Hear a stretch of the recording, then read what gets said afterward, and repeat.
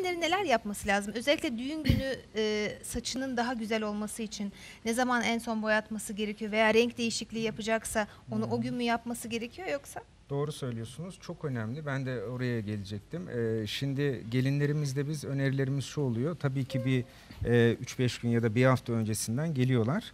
Ee, dediğim gibi saç e, rengi, ten rengi. Biz bir de e, salonlarımızda tamamen kişiye özel tasarımlar yapıyoruz. Bu çok önemli.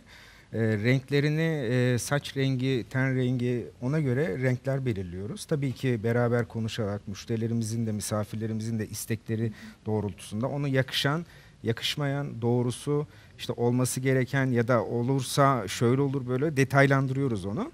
Ee, 3-5 gün öncesinden renklendirmelerini yapıyoruz. O çok önemli. Ondan sonra o geldiği zaman da zaten hem renklerini yaptıktan sonra hem saç hem make-up makyaj provalarını yapıyoruz. Çünkü ben gelin saçında e, nasıl e, bir gelinlikte birkaç kere provaya gidiliyorsa Evet. saçta da aynı şey olmalı gerektiğini düşünüyorum. Çünkü çok özel bir gün. Geri dönüşü yok yapıyorsunuz e, atıyorum. Daha sonra yani tabii şükür biz öyle hiç sürprizlerle karşılaşmadık ama olabilir. Çünkü sizin en özel gününüz. Vakit kısıtlı dar. E, işte yapıyorsunuz olmadı yakışmadı bilmem ne. E, o gün mutsuz olması demek gelinin. Bütün günün bitmesi demek ve çok özel bir gün. Fotoğraflarda videolarda bütün hayatınız boyunca e, onları göreceksiniz. E, onun için dediğim gibi 3-5 gün ya da bir hafta önceden renklerini yapıyoruz. O geldiği zaman yine aynı gün e, ya da bir sonraki gün provalarını yapıyoruz, netleştiriyoruz, randevularımızı alıyoruz.